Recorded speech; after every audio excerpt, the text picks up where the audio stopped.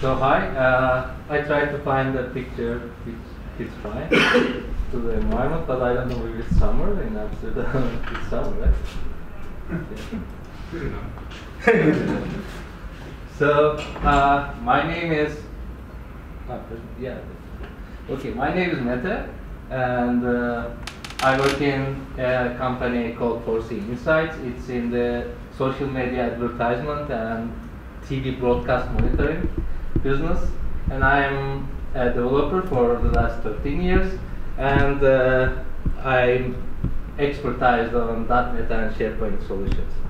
Uh, by the way, uh, at first I want to mention uh, this is a, this session is not about like teaching something to you, but it's more of like sharing some experiences, and most of those experiences are like hardly successes, and actually they are failures. So uh, I appreciate if you can also share your experiences with me, or you can ask questions. For encouraging you, I brought some beers, and in case you don't like beers, or who doesn't like beer, but yeah, uh, there are chocolates. so yeah, I can afford as a total of eight questions or nice. participations. But yeah, if, if we are out of time, then I owe you a beer. Uh, so yeah, I have a website which is called codingmike.com and it has all the information about me like uh, social media things. I hope it's still open because I'm kind of a lazy guy and uh, it's pretty usual for me that domains expire or hosting expires etc. This, I'm making this presentation for the third time but this page frequently changes I can assure you. So the uh, subject is over engineering and it's a monster, as I call, but it's a very uh, cute monster and it's somewhere it should be hidden behind the rock. Uh, why uh, I call it as hidden? Uh, because in my experience, most of the time we don't address the issues that we have as like ah, okay, this was due to over engineering or so. We, usually blame other things. But in my experience, this is also a major factor which leads uh, projects to failure. Sometimes, in fact, uh, as far as I know, there are some statistics about uh, failures in projects. It says some projects seem to be successful, but in fact they are failures because you deliver a system to the uh, customer and then sometimes, or maybe usually, I don't know, they don't use the system as expected. And then, yeah, you get the money, your company still uh, gets the money, and uh, it's a success on paper, but in fact, it's a failure. So, uh, the uh, stories that I will share are uh, about my previous experience in Turkey. I'm living for the last one year in, here in Eindhoven, but uh, they refer to my past projects. And it will be very interesting if uh, to see uh, where those experiences match with your experiences in here. So uh, instead of putting a wiki article in here, uh, let's say what is over engineering? Let's say this is your kid and he wants a bike from you. And in my experience in Netherlands, I saw babies with diapers which are riding uh, two-wheel bikes.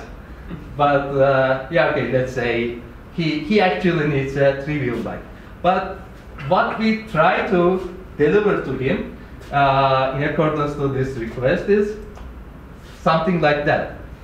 I say we try to because we, we, we can't deliver this because we are limited by budget, we are limited by skills, and uh, if we even try to deliver this, then this should be something like uh, well, with, with one wheel or maybe without an engine or something, without an exhaust or something like that. In fact, I tried to uh, depict it, and uh, I hope it still looks like a motorbike. Uh, so usually this is the case that we deliver to the kid.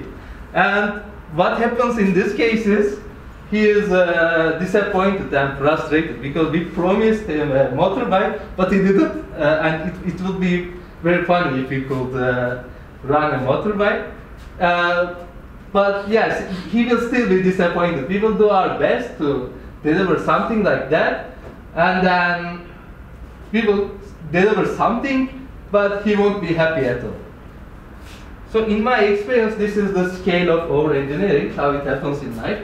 So if we do over-engineering in the analysis of the system, then yeah, it's, it's pretty bad. So if when you move to this side, the effect is lower. But this is where uh, we promise to deliver a motorbike to our kid. Okay, then whatever we do, he will be disappointed. So this is kind of where, uh, let's say we deliver an e-bike to him, not a motorbike, but an e-bike. Uh, if it happens in the development phase, okay, it's not that harmful. I can say this is where we deliver him a three-wheel bike, but with a GPS locator on it. Okay, it still won't fail. He, he can still be able to ride it, but it will be uh, not necessarily very expensive. So we can start with my first story. And uh, I think most of the developers are uh, friendly with this. Uh, you try to develop a software solution, and it's always compared with Excel by the user. They, they say, uh, I, I was able to do this in Excel, and I was uh, able to do formulas. I, uh, and I had I was able to do, uh, get those reports in Excel, but not in your system. Blah blah blah. blah. And your system is uh, sometimes always compared with Excel, and you you feel like you are competing with Microsoft in your field. So this is the project that we were doing in year 2009 to a government organization in Turkey. And I very professionally obfuscated the data, and th this was from an actual Excel page. Uh, to give you some context about the company that I worked for, uh, it was the uh, most major, biggest uh, systems integration company once and then uh, it got so many uh, contracts that I think the enterprise behind the company was a little scared, so they decided to sell it to someone. And then the CEO appeared, uh, I want to buy it, but he didn't have any money, so he got credits, etc. So he was, the company was in some kind of uh, financial trouble, but it had still a lot of contracts to deliver. And in that time, we, we were trying to deliver this project. So this is an Excel sheet, and uh, this Excel sheet was used for uh, in the field of farming. So there were some interviewers in the organization which go to farms and fill in such uh, forms. And uh, each Excel file contained like 12 or 13 sheets like that. And for each farm, they fill in those forms. So in order to make this more uh, not abstract, uh, you can think of like, let's say these are the uh, calves, uh, depending on their ages, numbers, or the uh, things that they eat or the products that they produce, etc., etc. And there are many pages like that about like uh, the production of the farm. It can be agriculture uh, products or animals or anything. So the purpose of the project is simply fill in some Excel forms, then transfer data to the database, and then get some results and get some statistics out of the system for making some decisions. And in fact, there was such a system in Netherlands, and this organization was, uh, oh, they, they needed to have a similar system. But the issue was, this shouldn't be so easy, right? It should be harder. So they should be very innovative. and what they came up with is doing Excel web-based, and it would be very innovative. And that the, the time was 2009 and there was no online Excel editing thing. Uh, it was just uh, possible to view Excel sheets online, but you couldn't edit it. And you had to develop this solution yourself. And another issue is uh, if you if you can even do that, you can uh, edit Excel or online. Then you come up with another issue, which is uh, the interviewers go to farms, which is in the middle of nowhere, and there's no internet connection. And yeah, in the in the uh, context of those years, and uh, so ah sorry. So you had to print the Excel files which were edited online.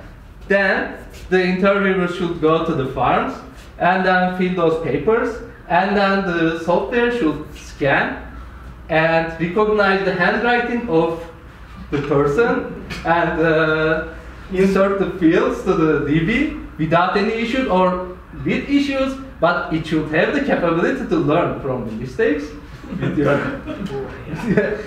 uh, while you're correcting it.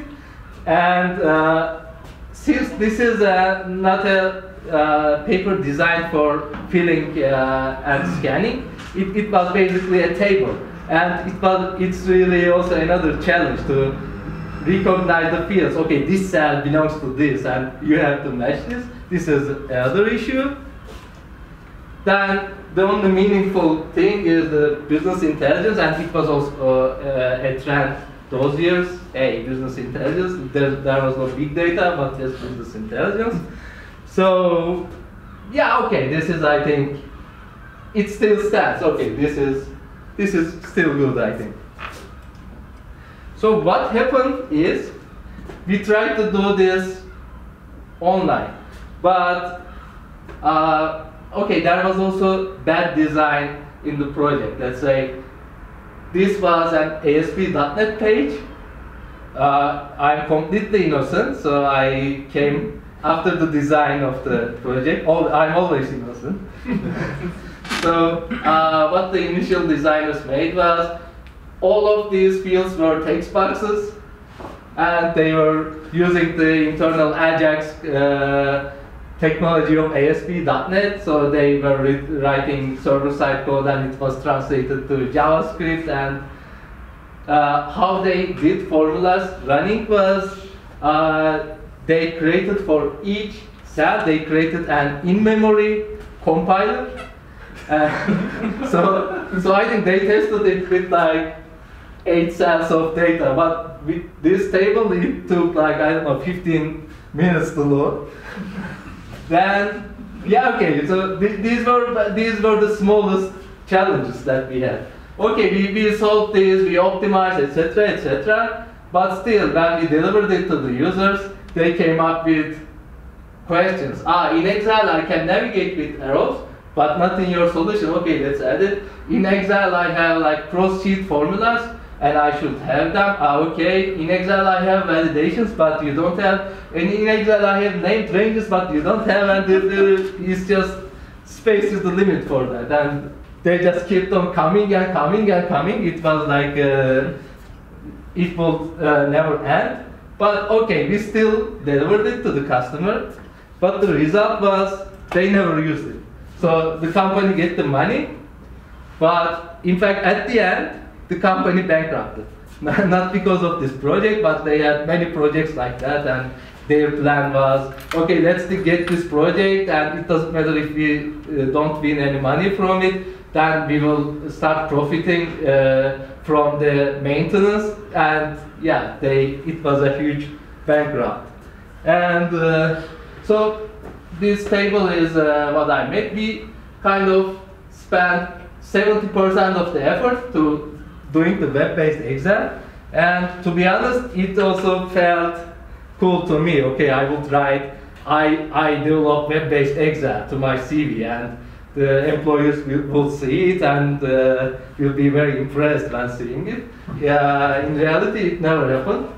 and scanning for the sake of the effort spent, I, I put 5% of the value and for this web page Excel, zero because it's not used. It's, uh, they just tried and then gave up. And business intelligence had the real value. So uh, the takeaway of this uh, story is these are my lessons learned. Uh, it's good to negotiate the requirements. Yeah, okay. You can have some requirements or specifications about the tender, which smell or feel like engineering, and you can feel like I want to do that. I want to be the first person who ever did that, and I want to write it on my CV. But uh, in fact, it's a good idea to negotiate because when you start such a thing, you can feel like, ah, will, the customer think that we are not capable of doing this, etc., etc. Ah, maybe we should act like we will do it, etc.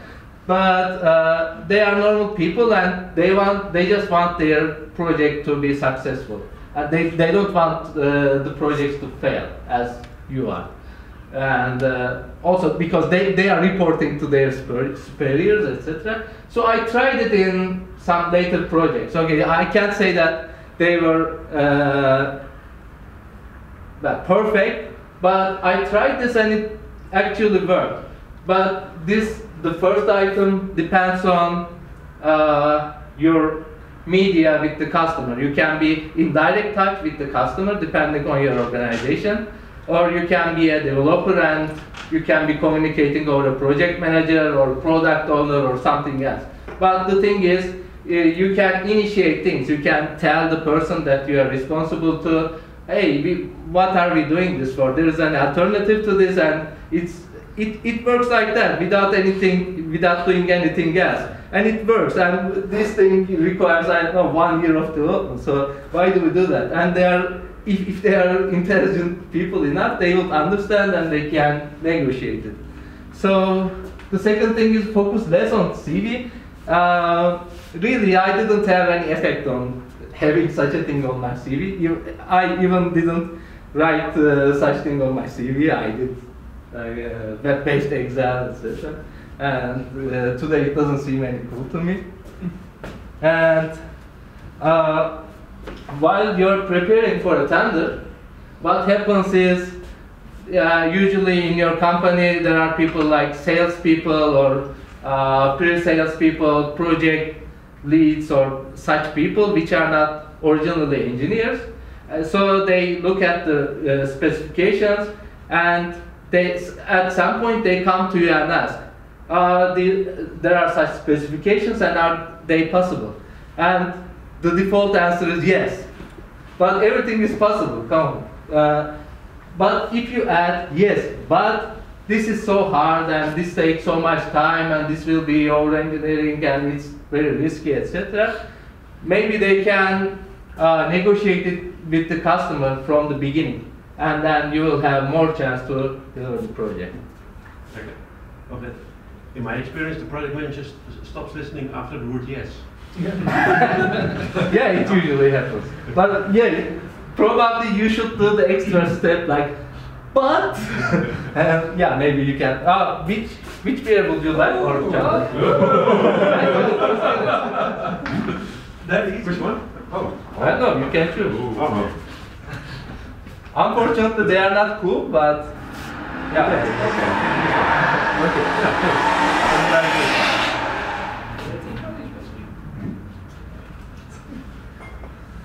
So uh, this is the second project that I kind of crashed. okay, kind of a failure story. Uh, after bankrupting this company, I had a new, uh, I had a new target, and I found this company, and I said, oh, okay, this is ideal for me. So uh, this was a SharePoint project, a content management system running on SharePoint. And this was also, I was an outsourced employee working on the, uh, this other government organization.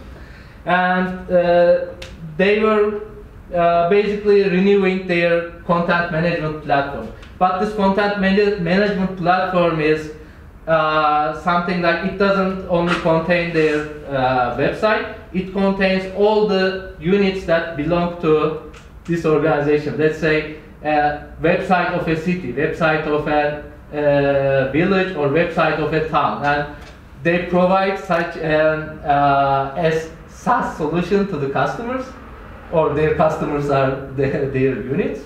And they say, okay, you can just come to our platform and host your websites and de- design it with a wizard, and then we can host it here. So it had like hundreds of websites. And this was kind of their previous solution, and I was surprised when I saw it because it really seemed something like that. Enter page title, description, select theme, and there were some few more pages, and enter announcement, and uh, select theme, and it, it was like a few pages which consisted of such a thing, and there was no such thing as branding, etc. in ma- mainly on the management pages. So, but the thing is, this was very basic, very simple, but in fact it was very easy to use. And I heard stories of people who are managing this platform. Uh, they, they were uh, managing their site, creating site and updating content in like villages, towns, even uh, some people like uh, teachers of the school or police officers doing this thing for the website.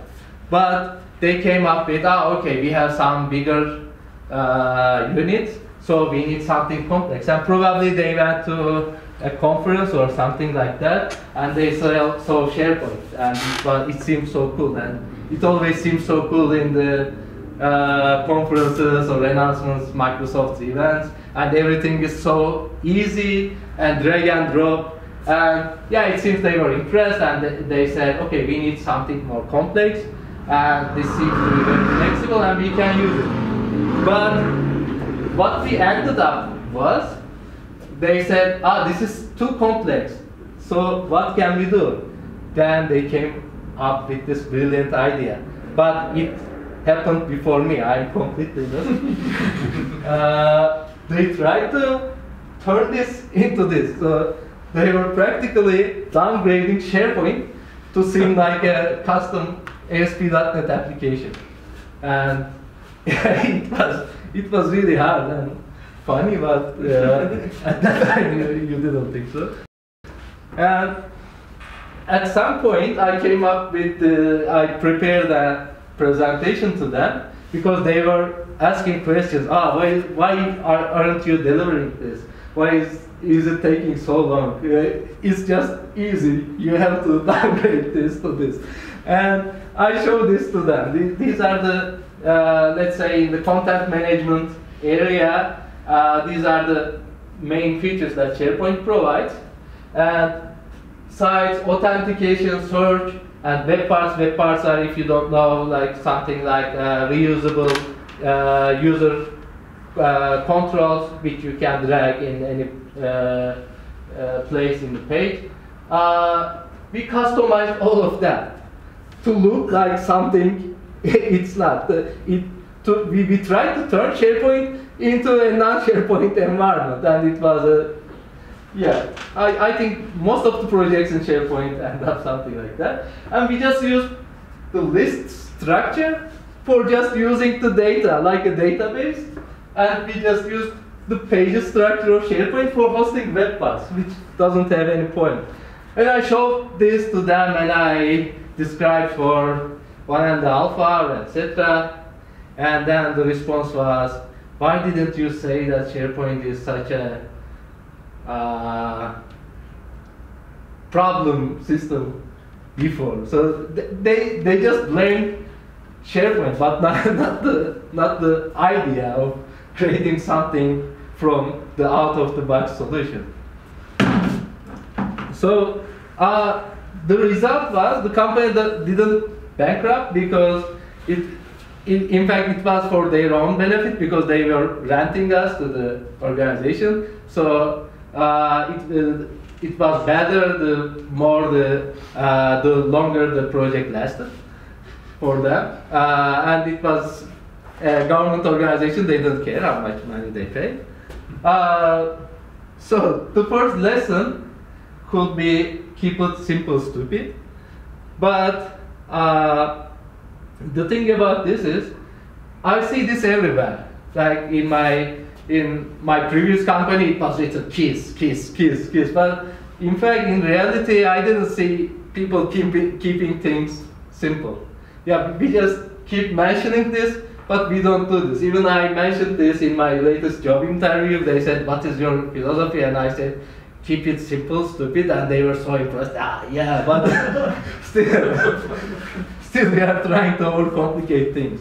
So this is why I call over engineering as a monster and a cute monster. It's a monster that we kind of create. And uh, to be honest, also in this project, I was thinking like, ah, I will be doing, I will be creating a wizard to create other web applications and websites in SharePoint, and it will be so cool on my CV. So yeah, it never worked. And we should ask the question to ourselves, why are we using an out-of-the-box solution? So if you have such custom requirements, uh, which doesn't match with the features of this product, then why are you using this? Then why don't you try to start from the scratch? Why don't you create a, uh, an application, custom application from the scratch? And why, why are you using this product at all? Why, why are you paying this license money?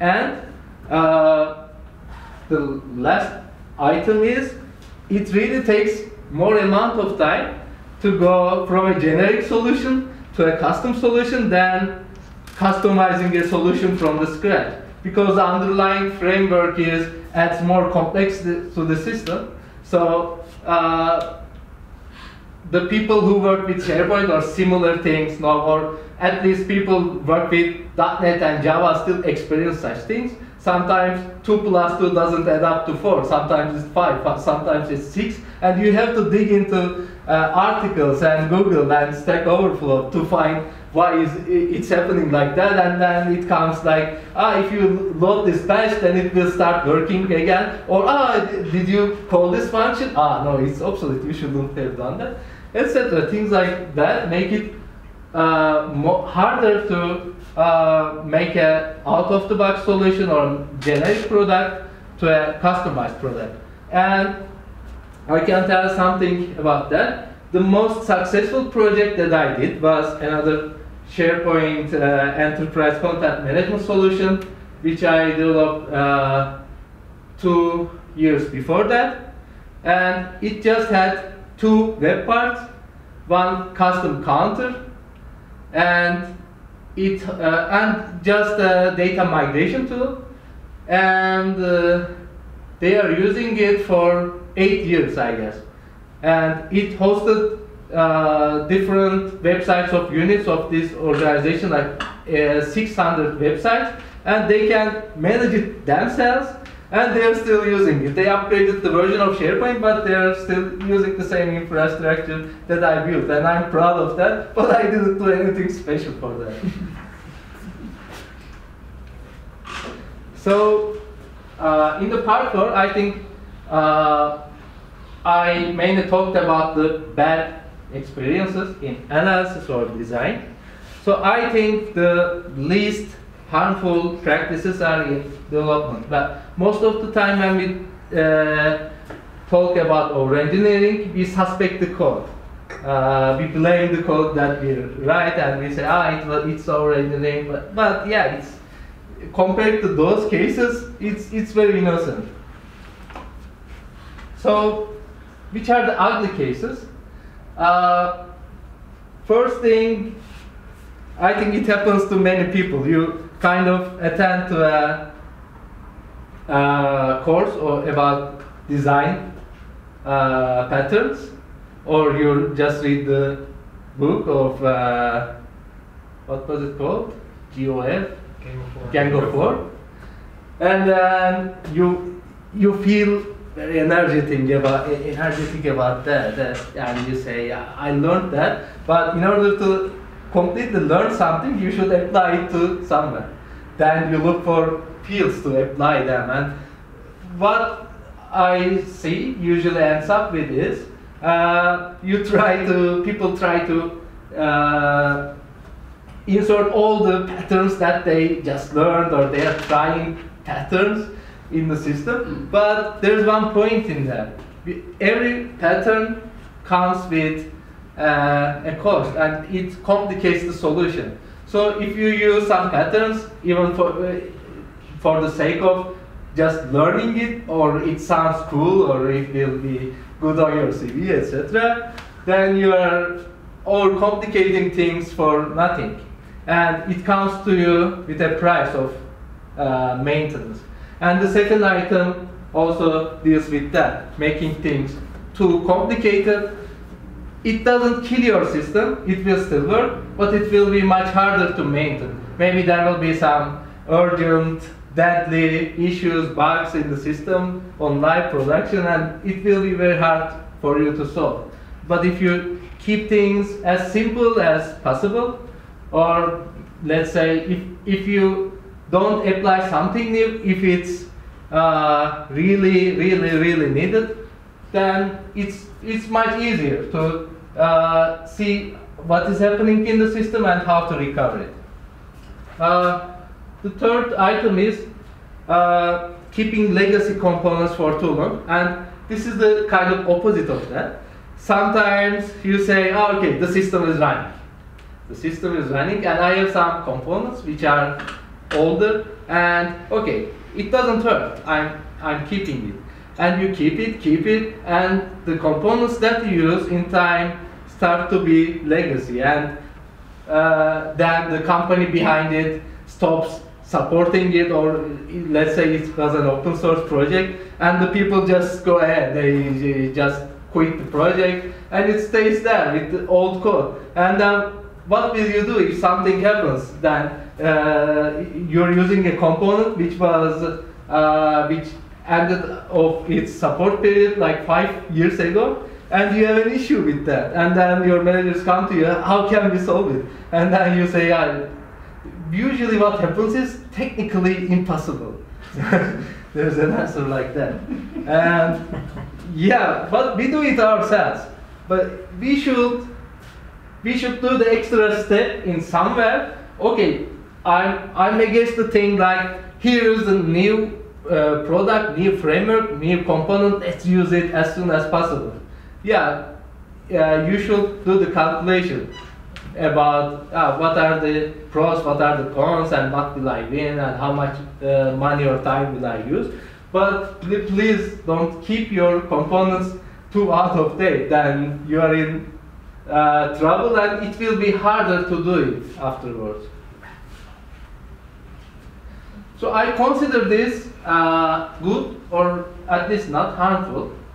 Uh, so I think it's a good practice to leave the code that you that you touch in a better state that you found it, or at least as how it was. But there are times, as we do, as we maintain the code, we see some crappy code and we say, okay, it won't be the one to touch it. And some other developer says that, some other developer says that, and it just stays there. And uh, it's really, it's kind of telling a story.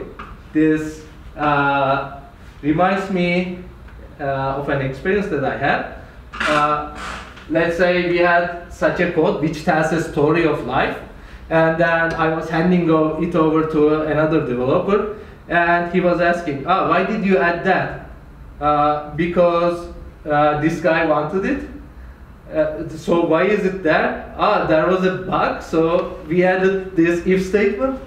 Oh, but why is it for loop and it's not doing it? Uh, but there was another bug that we had to do it. So the code then starts to tell a story of life. Okay, uh, this day I did this, this guy wanted that, this guy wanted that and then it's, it's not a complete solution. One looks at the code and he doesn't understand anything from it. And second item, uh, I think it's a good practice to make your code as testable as uh, possible in the given amount of time, even if it's for a demo or proof of concept. Once we, uh, with our colleagues, had an experience in my previous project. Uh, the project managers came to us and said, oh, hey, come on, we will do a demo to the customer and we should get these things ready like they are running, exactly uh, as they are running. And so we did, the, uh, we developed things, but we did that as barely running in the happiest path possible. Then they went to the demo, and we were proud of ourselves that we delivered a good system for the demo. And we said, uh, how was the demo? And they said, good, it was pretty good. But now the customer thinks that we actually have these features. So we have to develop them as soon as possible. So this is when your demo code and your uh, crappy code that you just develop for the sake of running becomes your production code immediately. So considering that, I think it's a good practice to make it as generic as possible in the given amount of time. Maybe you can do like for the for doing a demo system, you, you will spend two days. Just spend five days. No one will die. I think it's, it will still be acceptable for those people. But if if it's more generic, if it's more testable, you can still continue working on that code. But if it's something like a Hello World project, then you, you have to either uh, start from scratch, which is uh, not very usual. And what happens usually is you continue working on the crappy code and then things start falling down in time because you, you didn't at the beginning you didn't uh, design it for something like that. Okay, that's all. So uh, are there questions for the peers? They are waiting for you and chat it or experiences to share. Hey, come on. Do, you've been living here for a year now. Do you Yeah. find that the, the cultural differences between uh, the Netherlands and Turkey also show up in, in, in cases like this, where people overcomplicate things? Uh, in fact, there are some different things. Uh, in Turkey, I was working on fixed time and fixed price contracts, and mostly in the government sector. And here I'm working on a product-based company. But still, let's say, for refactoring, I have other kinds of examples. Let's say one colleague comes to me and say, hey, I, I want to refactor this. But then this refactoring can turn into writing the code from the scratch. And the refactoring takes like one month. And then, oh, okay, at least it's better. Then they found out another like project group and they say, Oh, okay, we will start with refactoring this code. Well, come on, it was just refactored like two months ago. And then they start, oh, we are doing hard refactoring this time. And then uh, they, they again do, write the code from the scratch, and then it's called refactoring. And yeah, okay, I said refactoring is good, but not that type of refactoring. So I'm now having those kind of differences, but I didn't have the chance to work in the same field. So that's why I'm asking you if, uh, if, if it feels familiar or if it's like something from the Mars or I don't know. Yeah, which field or chapter? Uh, Very can